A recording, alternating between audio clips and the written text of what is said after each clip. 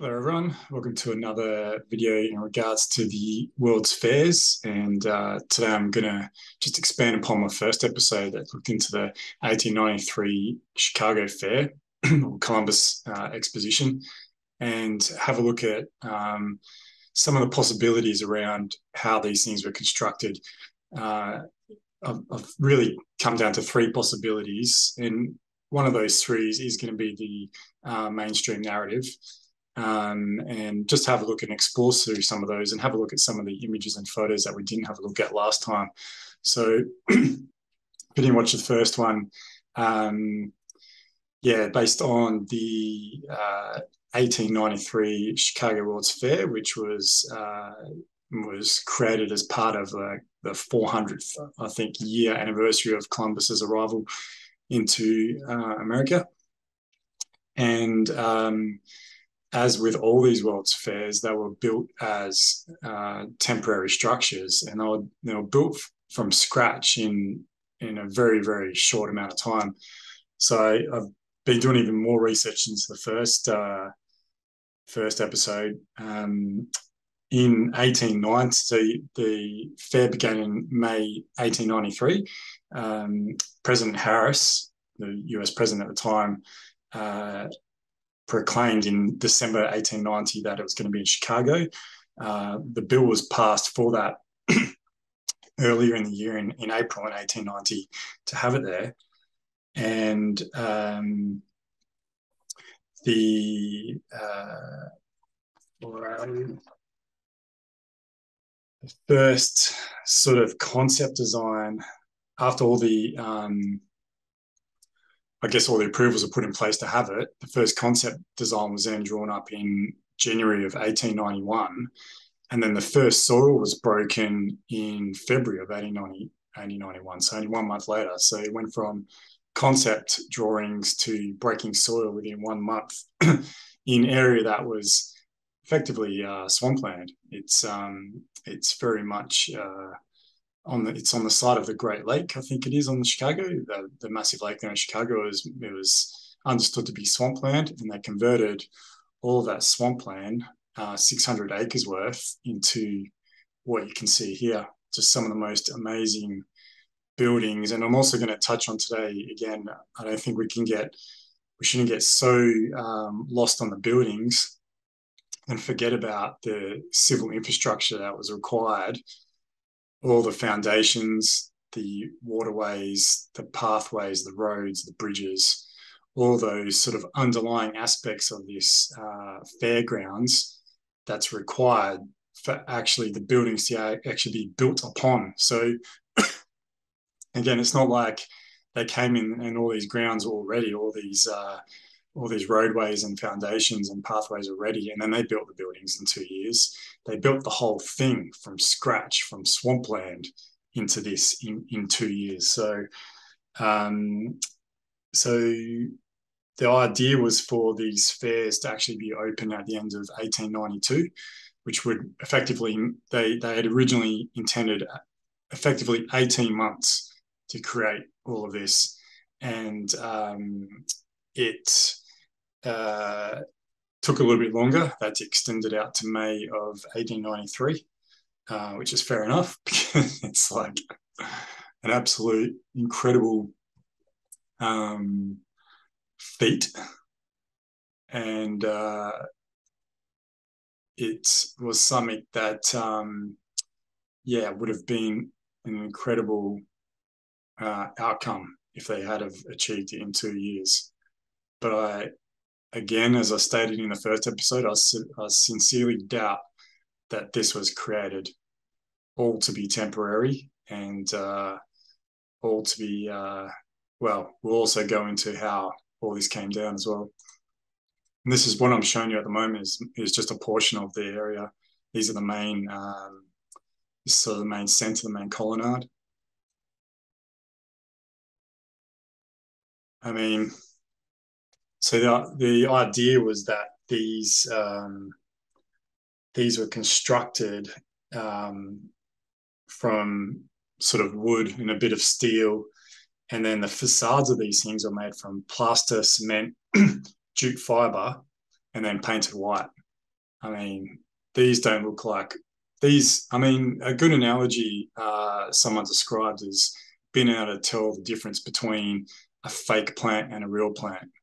So when you look at these images, it's it's it's worthwhile keeping that in mind. Like, does this look like a fake temporary building uh, created with some uh, plaster facade and some jute matting, and done so through two harsh Chicago winters as well. Let's not forget. Um, or does this look like the most incredible masonry that you've uh, that you've seen? It's just phenomenal what they've done here. Um, one other point I'll touch on in this is look at the size. So I'm a landscape architect as a profession, also study sociology. So for me, this is I find this very very interesting from a landscape architecture point of view, and also from a um, sociological point of view. Uh, this whole premise and um, yeah, I mean, looking at it, I'm, I'm looking at it from an art, landscape architecture lens a lot. Um, hence, this sort of look at more of the civil infrastructure side of things. But I mean, look at the some the size of some of these cacti. I mean, these things have been here planted here for years and years and years. They've been here for a long time. There is the potential that they were um, planted, like uh, uh, relocated, but I doubt it. Especially with cacti, it's very difficult to do that. Um, yeah, I mean, you can see the size of these people. Let's let's suggest this guy is say six foot. Um, I mean, you've got a ten foot high cactus standing there next to him. That's as high as a basketball hoop. Looks even bigger than that. Um, and not to mention some of the most incredible sort of ornate finishing to these buildings as well. You can see on these pillars, I showed these images in the first episode, just incredible. Um, uh, we had a look through some of those yesterday. So, I mean, the I've, I've had a look through, and a friend of mine very kindly put together a, a Google Doc with some of the some links to uh, scholarly articles about it all, and um, and the history of it. but nothing in there has convinced me of um, that it was manufactured uh, and constructed within a two-year period from 1891 to 1893.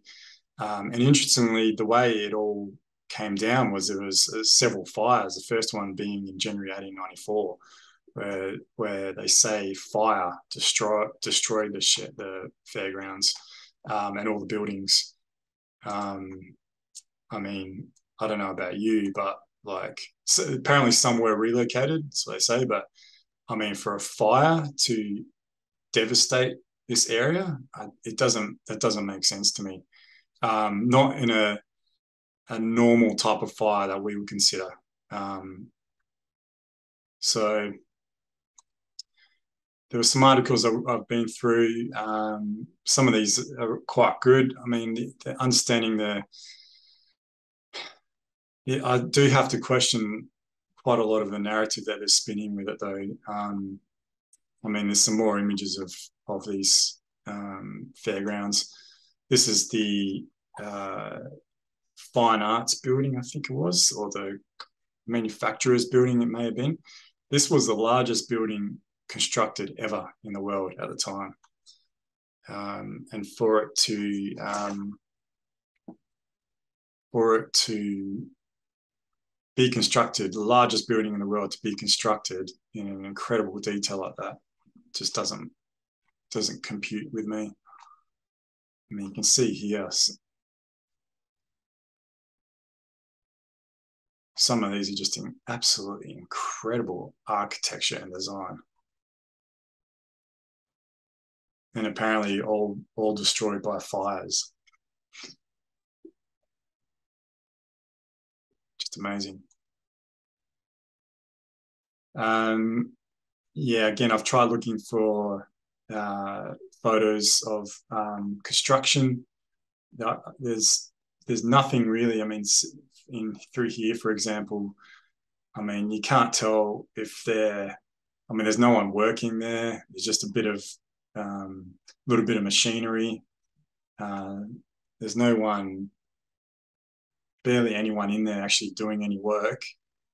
Um, it looks to me more like these things were refitted.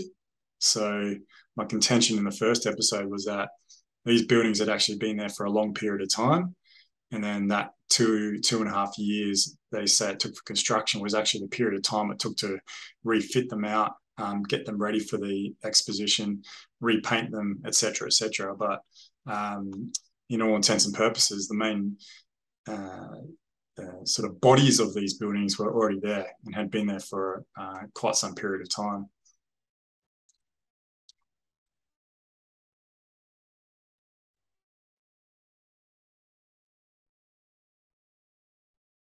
Some, I mean, the only photos I've been able to find of um, any sort of people working and constructing at the grounds are paintings and lithographs. That's it. There's no photographic evidence. And there was plenty of photos taken during that time, during that period of the early 1890s of the fairgrounds and of people being there. But none actually, no photos of actual any construction of these buildings or the civil works that are, again, I can't understate enough how much of a job it would be. It, the actual, the civil works, like, so basically everything from the ground level down that these buildings are built upon would have been would have taken even longer and require much more expertise uh, than the actual construction of the buildings themselves.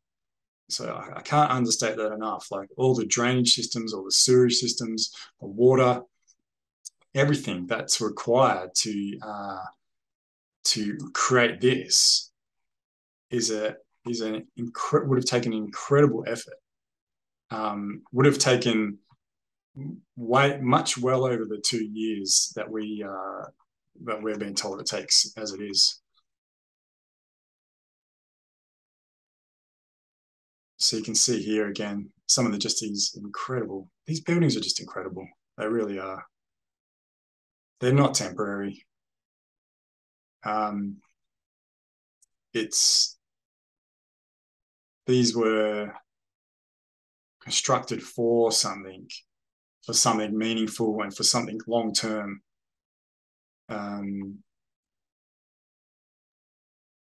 however, something's happened and there's no real understanding of what the directions were and the followings were and why these were taken down. These are some of the uh, paintings of the fire that ripped through there, apparently. Statue of the Republic. And this statue is just incredible. So the contention is that these fires whipped through. Again, there's no photos of them of that fire, whatever it was that they said caused the devastation. It's just uh, paintings.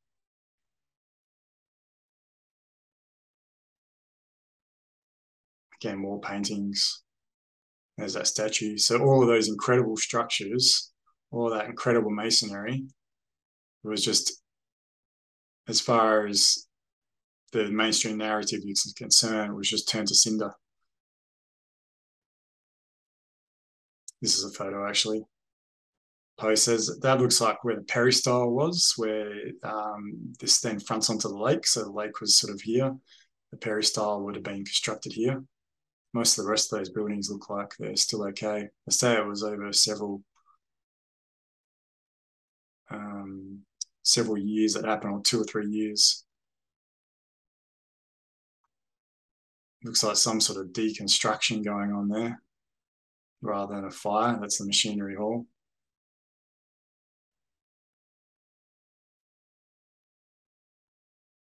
So, I mean, the, the three things that um, I could feel could support the building of these was that um, that I'm going to bring up another image of the aerial. Um, it shows the full ground. Hopefully, I can. Here we go. So there's the statue that we were just viewing, peristyle. Uh, this was the yeah manufacturer's building. I'm pretty sure it was. Sort of the main photos that I've showed are through this section through here, but then there's also the rest of these buildings as well. This building here still stands. It was the Palace of Fine Arts. Um, it's now a museum, but notice they're all named Palace. It's all, all of them are Palace of something. I mean, does this not look like a palace grounds to you? It does to me. This was Chicago in 1893. Um, so that there's there's three possibilities. One that actually was constructed uh, in a two-year period. All, all of these amazing uh, 200 buildings, over 600 acres, all the civil infrastructure, all the waterways, everything else that goes with it, and then the buildings on top of that. Uh, the only the only plausible explanation I feel I can give to that that that's a possibility was that the um, back then we're on a gold standard, so it was before cash and, and fractional reserve banking come through, where then the the uh, impetus was on um, doing building, constructing things as quickly as and as efficiently we can, as like with the lowest price materials we can from the lowest price bidder. That's effectively that's effectively how we basically build things these days. But this was back in a time where we are on a gold standard where uh, the cost of materials and labour was seen very differently because the cost associated with that um, was measured in a very different way. It was measured on a gold standard. Um, like our, our currency isn't actually measured against anything anymore. We went off the gold standard fully in 1971. Um, and yeah, that's created plenty of pro- problems as it is. But that's the only possible explanation that I can give that because we were on a gold standard back then, we had the ability to do to build this. However, um, again, I can't find any meaningful evidence to say that to to prove conclusively that we constructed all of this in a two year period and it was designed to be temporary. Um, and then a fire would go through and destroy most of it. Like I can't understand how a fire could could have done that. Um, the second possibility with that was that um, they were using a technology in that time period between 1891 and 1893 that we uh, don't know about and we that we no longer have. I mean, this is only 130 years ago, but potentially there was a technology around at that time which has been lost in time that was able to create these amazing uh, buildings and the related civil infrastructure in a very very short period of time with a minimum amount of, of workforce. Um, that's the second possibility. And then the third possibility is the possibility I lean towards is that these buildings and these grounds were actually in that in that place for decades and maybe even centuries before that. Um, and the more I look into it, the more I'm, I'm sort of not sort of the more I'm sure about that. I mean, I can't ever be sure. We, no one can ever be sure of anything. I get that, and I've also, like I was talking to a colleague at work about this the other day, I'm also being conscious of any of my cognitive bias around this and not, not I'm, I'm trying to use my sociological uh, teachings to not have a, uh, go ahead, um, not have not have a firm sort of fixed view on this and then try to find the information to support that, which we tend to do in our in our society today. I'm, I'm trying to keep as objective about this as, as I as I possibly can. I feel like I am, um, but uh, the my my sort of my understanding of civil projects and landscape projects uh, combined with just a, a, bit of sort of uh, uh critical thinking to me points to a uh, World's Fair that was uh, repurposed, that repurposed many buildings um, to use, and then the evidence of which, the evidence of that construction was mostly destroyed. One other thing I um, I found out about was that this Palace of Fine Arts, so the only building that's left standing over here, apparently that was the only one constructed out of brick. They say this was the only building constructed out of brick. And the rest weren't. The rest again was like wood, cement, plaster, jute fiber, and paint. Um, which again, I just have to go back to the fake plant, real plant analogy.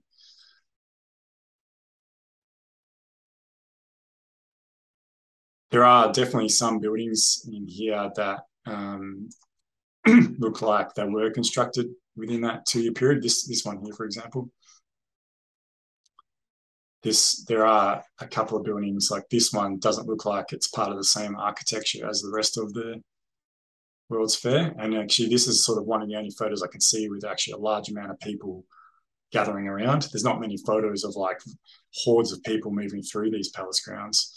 This just doesn't look like it's part of the same architecture. And I would suggest that this particular building was created um, in that two-year period. This just looks like a bolt-on structure compared to you can see the other the palaces in the background. It's a very very different type, uh, very different style of building.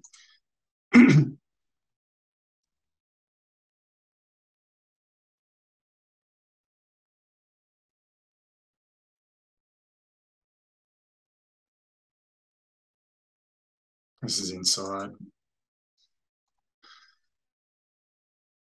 So look back down, that statue is back here. I mean, just a vast area of land.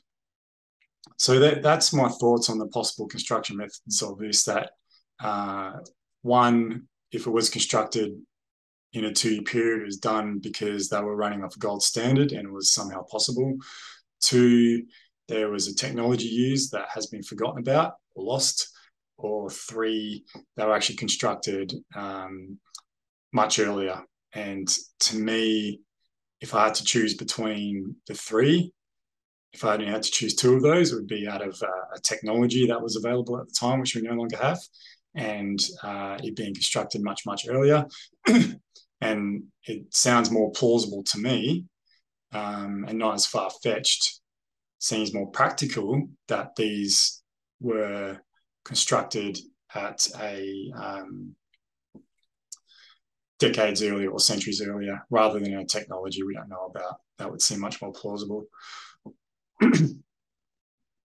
So one last thing I want to uh, look at today, and then I'll, I'll expand upon this one in the uh, next episode, is that it's not just so it's not just the Chicago World Fair. I thought when I saw this, I was like, oh, okay, shit, this is interesting. But then I found out there's all these other ones as well. And for example, the St. Louis World Fair in 1904. Again, very similar architecture. A couple of dudes, they're apparently part of the construction. They more look like they're just doing some cleanup, some retrofitting. Um, this is a bust of Thomas Jefferson, the president. I mean, look at the, I mean, good on this guy for doing it, but like this looks like terrible compared to some of this architecture here. Look at this the palace of transportation. Again, notice the use of the word palace. And look at the size of this construction compared to the people that are there.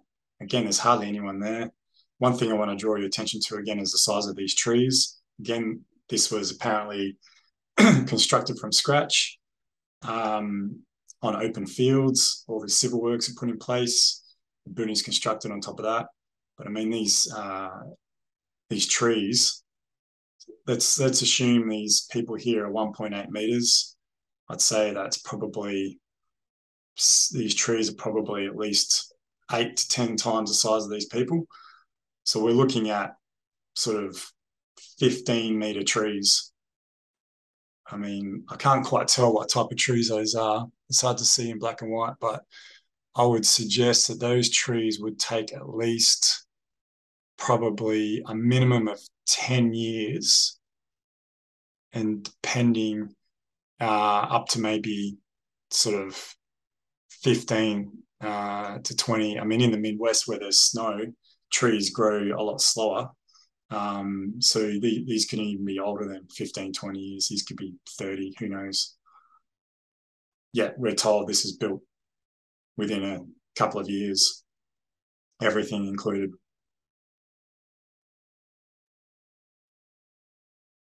So this is the St. Louis, Missouri. I mean, look at these people. They look. It's like, what is going on here?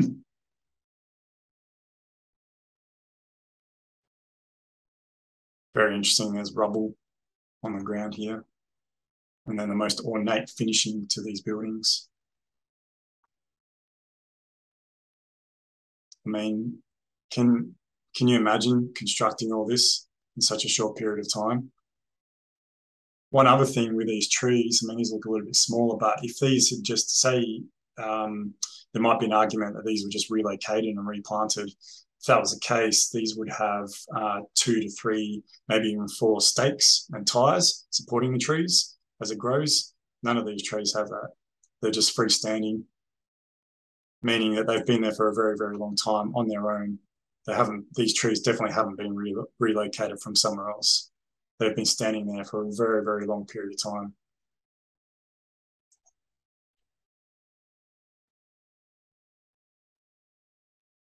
And this is inside. So I'm going to, on the next episode, I'm going to have a look at, a great look at this St. Louis um, fair, um, and then continue on with many others, San Francisco, Philadelphia, um, of these constructions that were carried out. I'm going to delve more into this photo. I find this photo the most interesting out of this out of this whole uh, article for uh, various reasons. Um, let me know if you if you can pick up on something here compared to the rest of what's wrong with this picture is, is what I'll say and what I'll ask. So yeah, thanks very much, everyone. I hope you got some uh, uh, insight into that. And uh, um, I just find it a very, very interesting topic. It begs a lot of questions that if these things were built decades or potentially centuries beforehand, then who did it? And why was the history of that uh, basically erased, um, both in narrative and in physical structures? Um, yeah, thanks very much, and I'll see you next time.